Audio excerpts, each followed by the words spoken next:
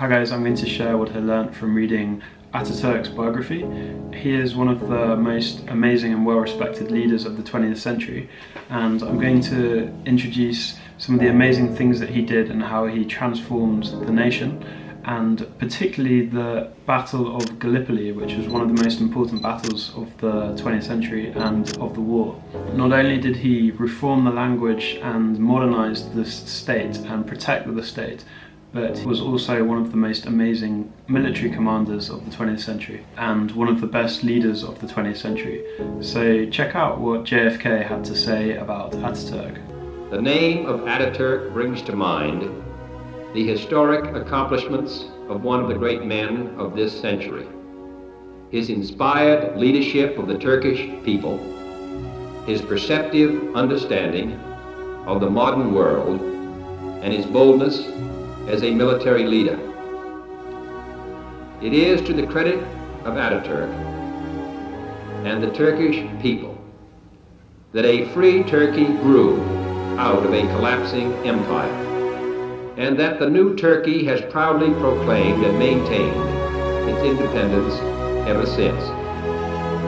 Certainly there is no more successful example of national self-reliance than the birth of the Turkish Republic and the profound changes initiated since then by Turkey and Ataturk. So I'm going to introduce what happened in Gallipoli and this was one of the most important battles of the 20th century and the First World War because in this time the Ottoman Empire, which was one of the premier and the, the largest empires in the world at the time, was having a period of decline for a few hundred years. And at this time of the First World War, the Ottoman Empire came on the same side as Germany in the war and part of a secret alliance against Russia. In order to knock out Turkey from the war, the Allied powers, the British and the Anzac powers, launched an attack on Istanbul, which was called Constantinople. And they did that by attacking Gallipoli, which was aiming to take Constantinople, which was the capital city and most important city of Turkey, which is such a strategic location for Europe and for the war. So here are five things that I learned from Ataturk that made him such an amazing leader that you can see from this Gallipoli campaign. So the first thing I learned is the importance of being in the front line and being together with the people. People say that the difference between a manager and a leader is a manager is from behind and they tell people what to do, but a leader is out in front of with the troops. And this is exactly what Ataturk did. He used to do the reconnaissance by himself by going out to the front. And in that way, he had a much better understanding of where the troops were and where the key positions were. There are so many advantages of being out in the front because you can have a better understanding of the lay of the situation of the battlefield. But it also means that you're much faster to be able to respond to threats and you can also understand the troops and the troops can see you out at the front of the battlefield. And he also used to lead at the front and he used to give speeches that inspired his people and his soldiers to, to fight. In one of his speeches, he was at the front of the battlefield and he gave the order to attack. It started with the artillery. He set 16 battalions to attack and during the fighting, Ataturk was hit by shrapnel in the chest and one of the soldiers noticed it and he reacted by shouting that he'd been shot and Ataturk covered his mouth, ordered him to be quiet so it wouldn't affect the other soldiers' morale. Luckily, the shrapnel hit Ataturk's pocket watch, which saved his life. But this is this is an example of Ataturk's leadership and the importance.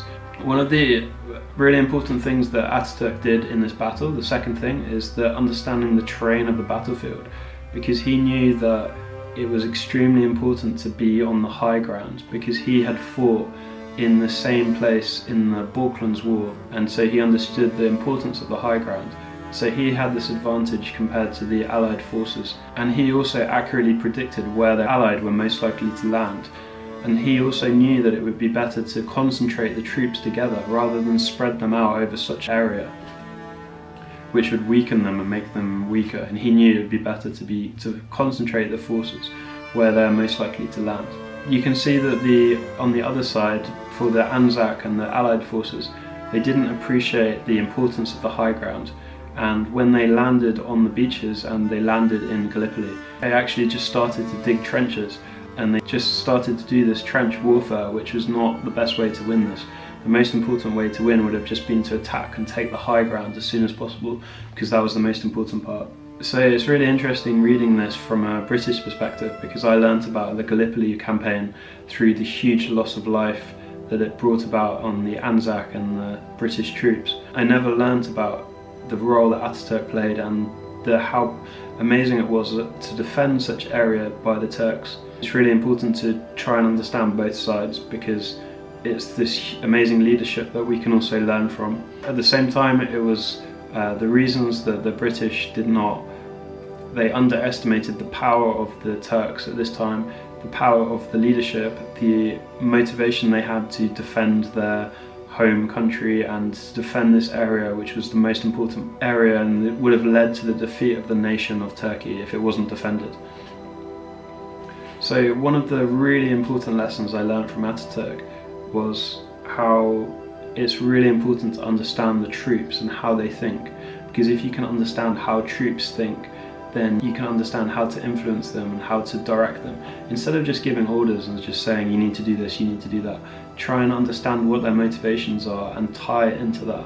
He used to give speeches at the front and he used to, for example, appeal to the officers' sense of shame, uh, discussing about the past defeats of the of the Ottoman Empire and trying to show the shame of losing those defeats because that was something that would really motivate the troops. And then he would also tailor the message to all the soldiers according to what would motivate them. For example, he knew that the Muslim faith, using the Muslim faith and patriotism is something that would really motivate the soldiers.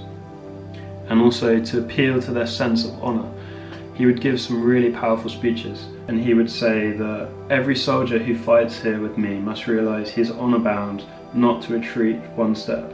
If you want to rest, there will be no rest for our whole nation throughout eternity. You can feel how powerful that would be to the soldiers. There were many different battles for the Ottoman Empire at this time. In many of these battles they lost their troops and they didn't fight as well. It is huge to see the difference that having Ataturk as the leader made because it made the soldiers much more powerful and they were much more powerful when they were attacking. And one of the reasons why Ataturk was such a powerful leader is that he demanded complete commitment from the troops. He made the troops so that they were willing to do anything. They were willing to die for this for this battle, for this cause. They would do anything. They're not just there available and then run away. They would completely die for it and he would give a speech which says, I do not expect you to attack. I am ordering you to die. In the time which passes until we die, other troops and commanders can come and take our place. And he also, there's a really interesting point where he see, sees the troops were retreating. They were out of ammo and he convinced them and to turn around and fix their bayonets and they fought with only with their bayonets. They would just sit there in this position and as a as the enemy did not know that they were out of ammo, but they would just go there in, the, in that position and they were willing to fight with just their bayonets. One of the other speeches he said was, I'm convinced that we must drive the enemy into the sea, even if it means the death of, all, of us all.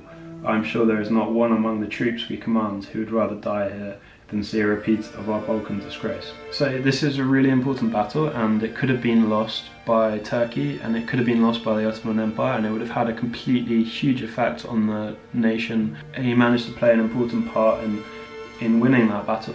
Another important thing that he did was that he was very decisive and he took action. He knew, for example, the high ground was extremely important. He knew that it was important to attack at those times. Compare this to the Allied part of the invasion force, where they did not look for the high ground. And you can see the leader, who was Lieutenant, Lieutenant General Stopford.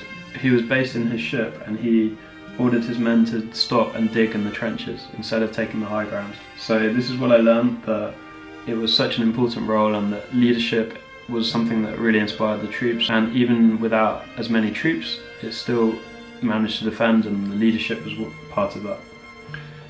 but every battle has two sides because uh, on one hand it was this great leadership and great coordination of troops that managed to win the battle. At the same time it was lost by underestimating the power of the Ottomans, not having enough troops, being overconfident and not realizing the will and the uh, the power that they were willing to defend their most important city. So these are some five principles that I learned from reading Ataturk Ataturk's biography and that you can see in the Gallipoli campaign. This is an example of Ataturk as an amazing military leader. So this was just the start where he reformed uh, Turkey and you can see that, for example, the language he reformed it from, instead of using Arabic letters, he used Roman letters, which was easier to use and he made it more westernized and reformed the education system, the healthcare, equality and women's rights. Made a lot of these changes that were also huge achievements really difficult. But you can see some of the principles that he used, such as understanding the people and the importance of that. So this is some of the amazing things about Ataturk and uh, what, that I learned from the Gallipoli campaign. So if you like this, check out some of the other videos I have about some of the world's most inspiring leaders.